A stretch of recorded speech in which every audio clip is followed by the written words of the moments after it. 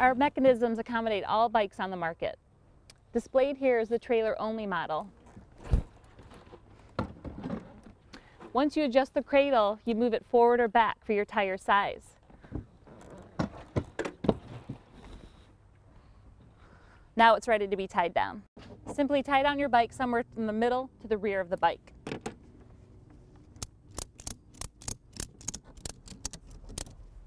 And now your bike's ready to be transported.